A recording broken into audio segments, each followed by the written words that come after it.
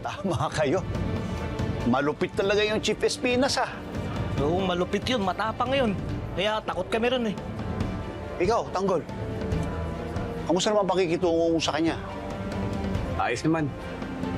Bait naman sa akin si Chip Espinas. Siguro, dikit kayong dalawa, no? Opo. Sa katunayan nga po, trusty siya ni Chief Spinos. Tulad ng babae.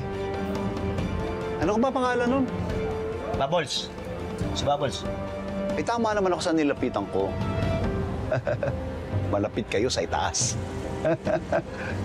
na? Marcelo, ingat-ingat ka.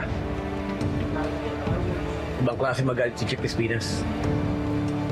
Pag nakagawa kayo ng pagkakamali, sigurado, pagsisisiyan niyo.